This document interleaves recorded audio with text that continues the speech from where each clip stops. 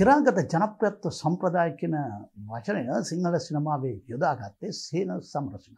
හැතෑව දසගේ බිහිවෙච්ච අපූර්වතම සිනමාකරුවන් අතර සේන සමරසිංහට ඉහළ තනක් ලැබෙනවා. ඔහු තෝරාගත්තු කතා ඉන්දීය අනුකරණ නොවෙයි. ඔහුගේ චිත්‍රපටවලට භාවිතා කරන ලද සංගීතයත් ඉන්දීය අනුකරණ සංගීතය නොවේ. ඔහුගේ චිත්‍රපට බහුල වශයෙන්ම ජනප්‍රිය වෙන්නේ ඒවාට ඇතුළත් කරන ලද සරත් දසනායකගේ තාම මියුරු ගීත නිසා. ඔහු හැදූ ආචාර්දෑසින් දවස් සීයක් තිරගත වුණා. මිනිසුගේ ජීවිතයේ තිබෙන ඊර්ෂාව නැතහොත් තමන්ගේ භාරයව කරන සැකය මොනතරම් කාලකන්නිකමකට ජීවිතයක් යොමු කරද මේක ෆැන්ටසි ෆිල්ම් එකක් මේ චිත්‍රපටයට සමහර විචාරකයන් බරපතල විදිහට දොස් නැගුවා මෙහෙම චරිත තුනද මෙහෙම තියනවාද කියලා. හැබැයි සමස්තාර්ථය දක්වා මේ චිත්‍රපටය අපූර්ව නිර්මාණයක් හැටියට මා පෞද්ගලිකව විශ්වාස කරන්නේ. චිත්‍රපටය ආරම්භ වන්නේ විශාල කඳු ගැටයක් ගාව කුඩා දරුවෝ දෙන්නෙක් ඉන්නවා. මේ කුඩා දරුවෝ දෙන්න නැතහොත් දරුවෙක් හා දැරියක් මේ තන ඇවිදගෙන යනවා කැලේ. දරුවාට ඕල කරනවා මේ කන්දට යන්න. මේ කන්දට කියන්නේ මිනින්දෝරු කන්ද කියලා. අපි දන්නේ හැම කන්දක් තියනවද කියලා. හැබැයි චිත්‍රපටයේ තියෙනවා. ඊට පස්සේ දැරිය කියනවා කුඩ කෙල්ල කියනවා පුංචි ගෑනු ළමයා කියනවා වාගේ තාත්තා මැරිලා මිනින්දෝරු කන්දේ හොල්මනක් වෙලා ඉන්නවා කියලා. හැබැයි පොඩි එකා ඒක බාරගන්නේ නැහැ.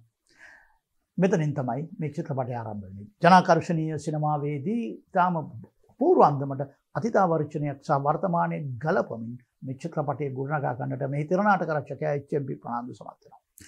තම අපූරු කතා ශෛලිද මේ චිත්‍රපටයේ තිබෙන ගම ෆැන්ටසි එකක් තමයි. මේ චරිත සමහරට ෆැන්ටසි. හැබැයි ඔවුන්ගේ මුහුණ දෙන ගැටලු සහ හරි අපූරුයි. ගමේ ඉන්න නම්බුකාරෙක් පවුල එකම දියණිය නයනි. නයනි ලස්සනයි.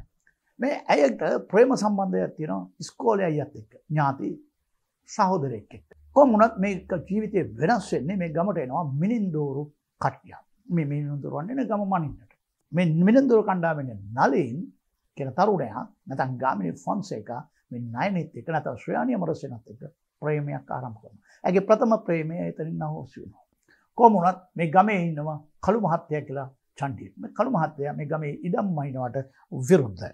අර ගම් මුලාදෑනිය වෙච්ච පැරණි මිනිස්සයා නයනිගේ තාත්තා මේ මිනින්දූර කණ්ඩායමට සහාය වෙනවා. කොමුණත් නයන නයනගෙත් නලින්ගෙත් ප්‍රේම සම්බන්ධතා දකින ස්කෝල මහත්තයා ගෞරවනීය විදියට එයින් ඉවත් වෙනවා.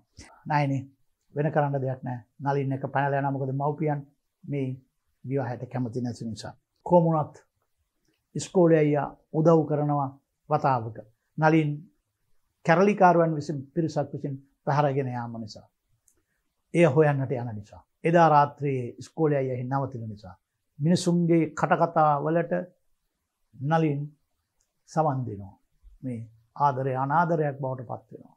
මේ අපූරු නිර්මාණය සෙන සමරසිංහ නිර්මාණය කළේ ඔහුගේ තුන්වැනි චිත්‍රපට හැටියට. ශ්‍රයන අමරසේන සෙන සමරසිංහගේ චිත්‍රපටයට එකතු වන මුල්ම අවස්ථාව මුල් චිත්‍රපට වල වගේම ගාමිණි ෆොන්සේක මෙහි ප්‍රධාන චරිතය නිරූපණය කරනු ලැබුවා.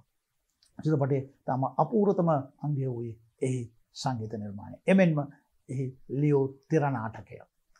අසදසින් චිත්‍රපටය නිෂ්පාදනය කළේ පියසේනද සිල්වා සෙන සමරසිංහගේ හැම චිත්‍රපටයකම නිෂ්පාදකවර ඇයටගේ පියසේනද සිල්වා. අධ්‍යක්ෂණය කළේ සේන සමරසිංහ.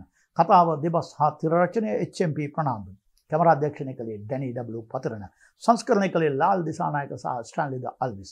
සංගීත අධ්‍යක්ෂණය කළේ සරත් දසනායක.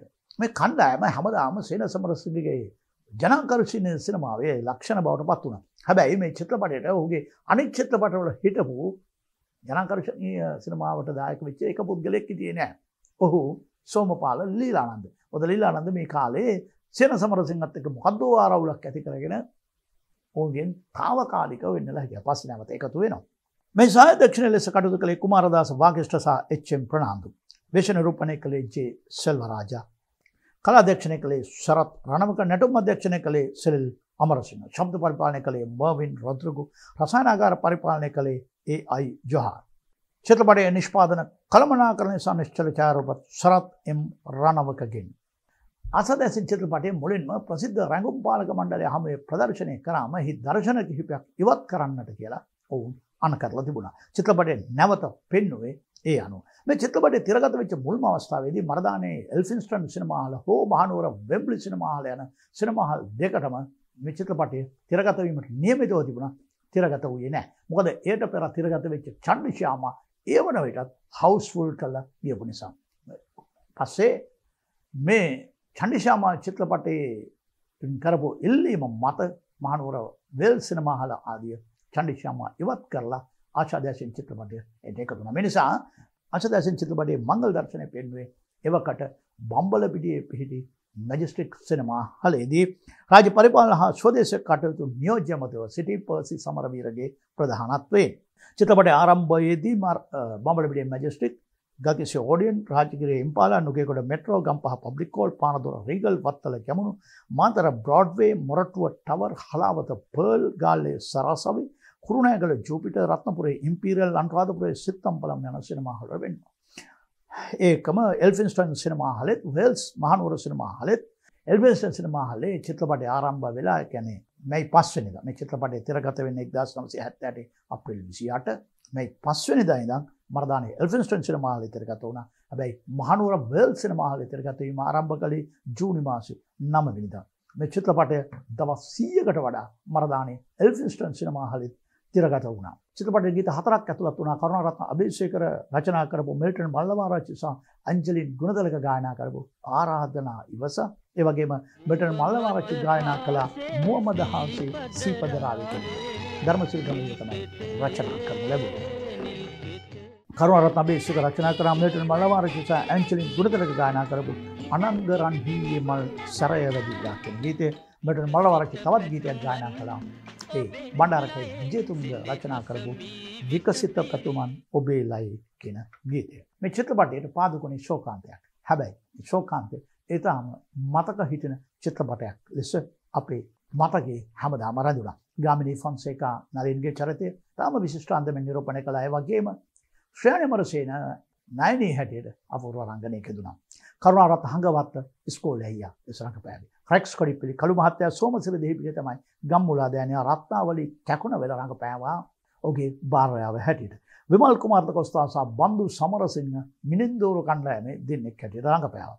ඒ වගේම ඔවුන් දෙදෙනාම ප්‍රේම කරන එකගේ කන පෙම්වතිය හැටියට මානිල් වානගුරු රඟපෑවා.